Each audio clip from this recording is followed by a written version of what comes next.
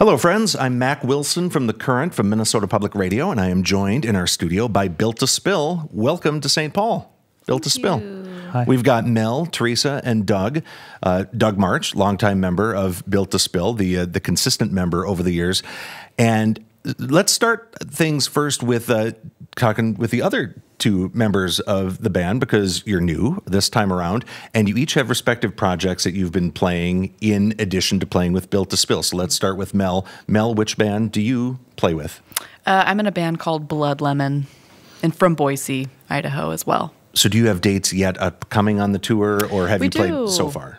Uh, we haven't played any so far. Well, we did a little bit in our last tour for the spring, um, but for this tour, we're going to join at the end of this month, and then we'll play a little bit in the beginning of September. We have like ten dates, I think, that we're doing on like the East Coast.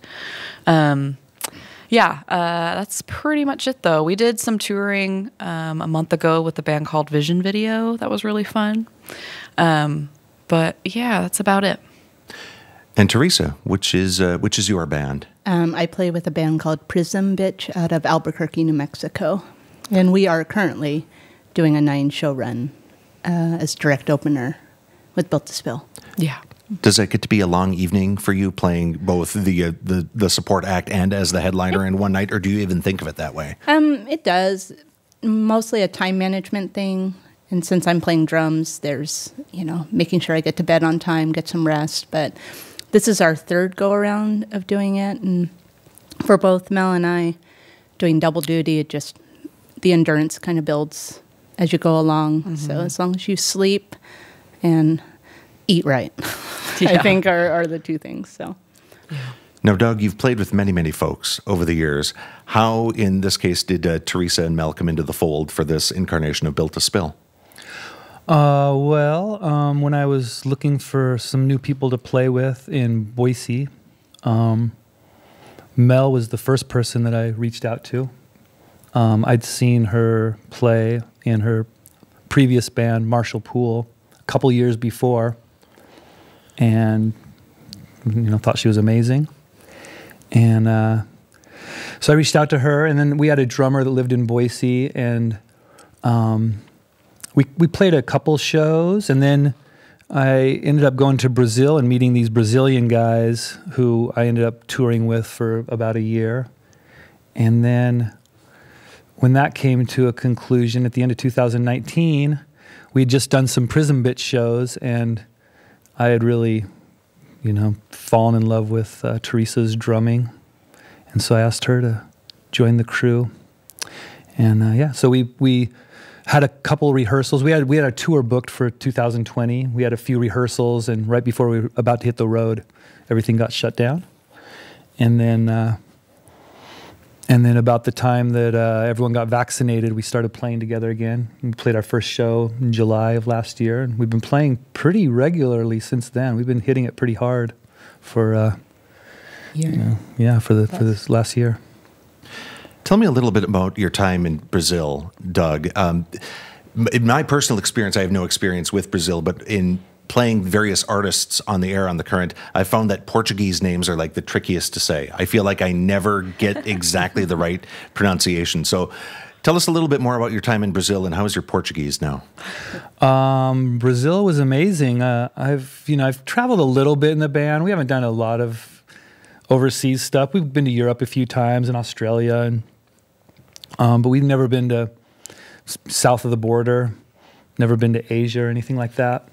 Um, but the trip to Brazil was really great because um, usually we're on tour and we're just the group, you know, and maybe a tour manager from somewhere, and you know, you meet people every day. But this time we had a kind of a crew. We met, I met um, this woman Isa um, uh, Giorgetti, who um, she was kind of trying to get us booked over there for about a year, and we'd been talking to each other.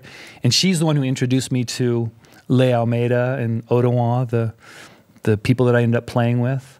Um, and so she kind of took us under her wing and showed us around, and we got to spend a little extra time there because we had to rehearse and stuff. So um, our sound guy Lawrence and I went over there and had a great time. Both of us just loved it. Um, for lots of reasons. But I think that was the main thing, just that we found these people that were like kind of kindred spirits in the music scene that you know became the band and good friends, friends for life. Um, and but there's a lot of great things about Brazil. A lot of great music, beautiful, you know, good food, and just a really sweet culture. I've got good news. Well, there's the Brazilian chain restaurant that's right by First Avenue tonight. Ah. So if you're looking for someone to go, Fogo de Chao is right next door. I don't know if you can necessarily squeeze that in, a, a buffet trip before yeah. uh, playing at First Ave. But FYI, there is Fogo de Chao uh, across the street. It's good to know. So that song that you played to open up the set, "Fool's Gold," that's the uh, the one that you opened up with. That's from the new record, which is coming out in a couple of weeks, and it's a record, from what I understand, was largely recorded during the pandemic. It was the mixing then, which you had to work on uh, remotely during the pandemic. Uh, do you feel like you? I'm figuring out the right way of putting this. Uh, do you feel like having that much time made you spend more time tinkering around with it?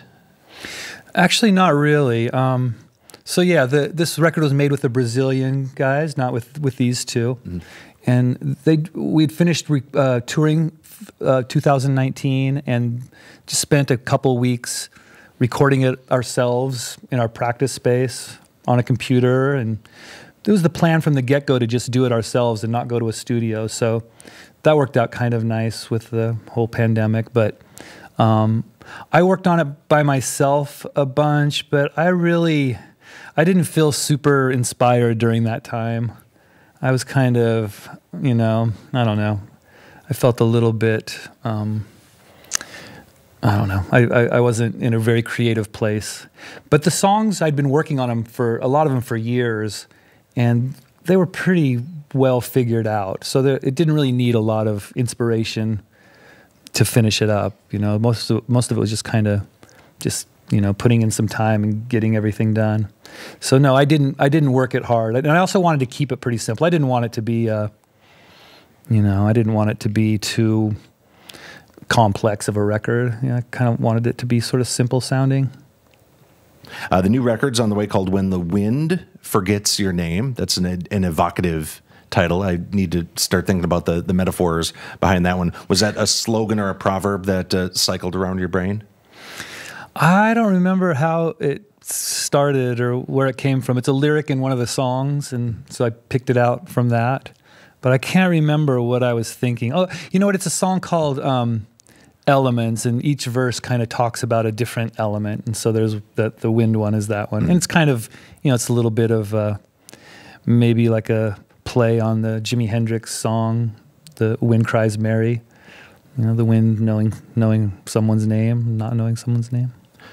The first song that you put out from the new record is "Gonna Lose," and I've enjoyed that one quite a bit. I like the video too. For it's hard for me to articulate exactly what it is, but it's like exactly what I would expect uh, a built to spill video to look and sound like. So the animation does a really good job of matching that feel. Who did you get to animate the video? Oh, that's sweet to hear. Um, it's Jordan Minkoff, and he's uh, he's he, he, played in a band called Slam Dunk, who we met maybe ten years ago, Canadian band, and became my favorite band. Um, and then he made a lot of videos for his band and for other people's bands, and um, he has a great sense of humor, and um, he really gets our band. So I'm, I'm glad that you felt that it fit with Built to Spill because I feel that way about him. Like the things he does make sense. In us. particular, it was uh, it, your song "Living Zoo." Mm-hmm. I could mm-hmm. easily picture "Living Zoo" with a very similar video to that. Yeah, he did that, and um, and the follow up, the Never Be the Same video. And then he's done two videos for this record. And he's working on a third one. And he has a, a project called Wet Face. that's just him by himself on a keyboard and singing and uh, great songs. And really, he's just a really silly, amazing guy. So we're doing some shows with with him too when Blood Lemon joins us on tour.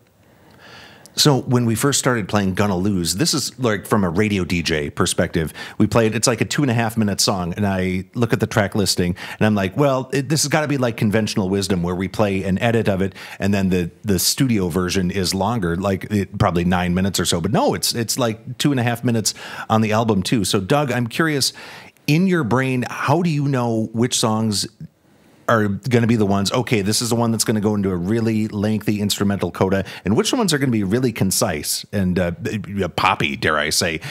How do you even get your brain going? Like, which is going to be the ones with a big solo? Hmm. I'm not sure. I'm not sure. I think for the most part, I feel like I want to keep them all short, and I try to edit them to get everything I want across as short as possible. And sometimes I feel like it takes a while to get everything I want to get across, uh, you know. Um, but I don't know. You know, there's no real. Uh, some sometimes it's like a, a, a reaction. You know, if I've when when when we make a record with kind of short songs, then the next one I want to make them sprawl a little bit, and then that, you burn out on that, and you go back the other way. I feel like there's a little bit of a pattern like that with, you know, just reacting to the thing you've already done, and you're either tired of it or you you you know for whatever reason, maybe the music that I'm listening to at the time is more concise, so I want to emulate that. I think you'll appreciate this that occasionally I host the request show here on The Current. And probably one of the most reliable requests is Built to Spill's cover of Cortez the Killer, which the, people want to hear that on the air. I think it's been done once or twice that we've actually played it, but it routinely exceeds 20 minutes in length. I'm curious in the history of Built to Spill, in terms of minutes, what do you think is the longest any one song has gone on? What's, what's the longest you've gotten? minutes? Minutes. I think like, Hours. I don't know, 700, I think, minutes. Okay. Probably the longest one we've done. That's that's fair enough. We are in the current studio with Built to Spill and want to give a big thanks to Sorry, I'll start that over again. Sorry. It's okay. 700 minutes. I'm, I'm putting that together in my brain, but honestly, I believe you. So 700. That That's not true. I don't know how long. Never, I've never done anything for 700 minutes in a row. I could probably sleep for 700 Sleep? minutes in a row at this Yeah. point, but yeah, we're getting Yeah, maybe. So, cool. Built to Spill in the current studio. Doug, Teresa, Melanie, thank you for taking the time to stop by today. I want to give a thanks as well to our producer, Rachel Frances, to our engineers, Eric Romani and Evan Clark, uh, for photographing as well. And they have a song at the end of the set, uh, Conventional Wisdom, that. Uh, I was thinking about earlier, and I'm really thrilled to hear you play it. So thank you for stopping in again. Thanks, Mac. Thank you. Thank Thank you. you, Mac.